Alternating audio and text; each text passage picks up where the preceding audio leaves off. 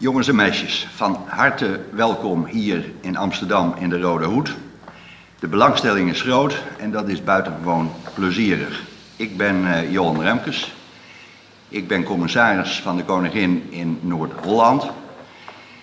Uh, ik mag een beetje van de Koningin zijn, maar mijn belangrijkste activiteiten zijn het voorzitterschap van provinciale staten, zeg maar het provinciale parlement, en het voorzitterschap van gedeputeerde staten, zeg maar de provinciale regering.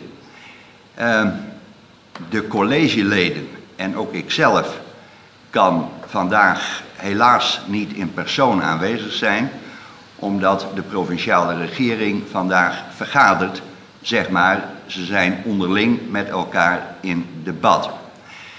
Het is belangrijk dat jullie hier vandaag zijn, omdat het belangrijk is dat jongeren hun bijdrage leveren aan de toekomst van hun eigen samenleving. Uh, jullie zullen het op een gegeven ogenblik van bestaande politici en bestuurders over moeten nemen. En het is belangrijk om deel te nemen in het democratische proces. En voor dat democratische proces is het van groot belang dat je debatteert. Uh, is het vrije woord van groot belang, mits op een beetje fatsoenlijke manier gebruikt. En bij debatteren hoort natuurlijk ook dat je op een gegeven ogenblik bereid bent om je te laten overtuigen. Ook dat is belangrijk in een democratische samenleving.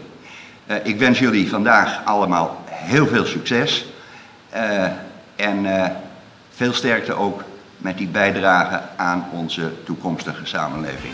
Zeer veel succes.